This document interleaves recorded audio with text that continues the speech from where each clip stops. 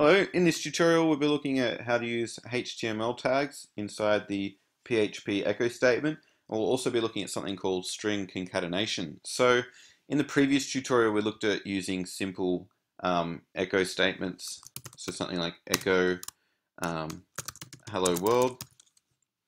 Okay, so just displaying a simple message in the browser using the echo statement. Um, but we can also place HTML tags inside the echo statement. So um, if I wanted to make this a heading, I could put echo and inside, inside this string, I could put, um, oops, put a h1 tag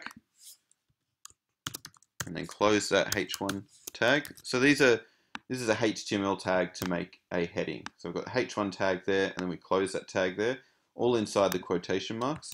If I save that and run it in Chrome, I get a heading there. Okay, and I could um, make that a smaller heading. I could use the H3 tag instead. Get a smaller heading, and I could um, I could make that a paragraph as well. I could use bold, italics. I could add links using the ahref tag. Um, I could add an image. Any kind of HTML tag I can use, I'm able to put inside an echo statement. So if you're not familiar with HTML um, and you don't know HTML tags, then I strongly suggest watching the HTML and CSS tutorials um, so that you can use HTML tags inside the echo statement in PHP.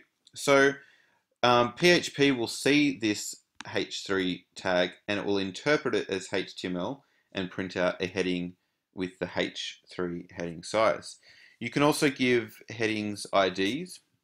Um, so it could say something like H3 ID equals um, you know, my heading and the problem is here that we're using double quotation marks inside double quotation marks for the string. So we would need to escape those, something we looked at in the previous tutorial, using the backslashes in front of those quotation marks. So save that, refresh, and we shouldn't get an error. Um, but this heading here will have the ID of my heading. Um, alternatively, we could use single quotation marks there as well because this string is inside double quotation marks. All right, so that's how to place HTML tags inside a PHP echo statement. Another thing that we can do is join strings together. That's known as string concatenation. So concatenation is basically just a big word that means join, and we can join two strings together. So what I'll do is just delete this. And I'm going to put a string here. I'm just going to say echo hello. All right. Now I could just end that there as one string, or I could put another string after that. So I could join it with another string. So I could say hello dot or period, and then another string here, there, and then end that with a semicolon. So I've got hello there, and a period in between. If I um, refresh that, what will happen is I'll get hello, and then I'll get the next string there, but there's no space there. So you could add either a space after the O there, or you could add a space before there. Alright, so if I save and refresh, I get a space there now. Alright, alternatively, instead of using the period, you can use a comma, and that will also work. Alright, so you can use a comma or a period and um, it will get the it will give the same effect. So it does the same thing. Um, you could also write two separate echo statements. So I could delete that and end that with the semicolon. And then I could put echo there in that line. Save. Command S to save if you're not sure what, what I'm doing.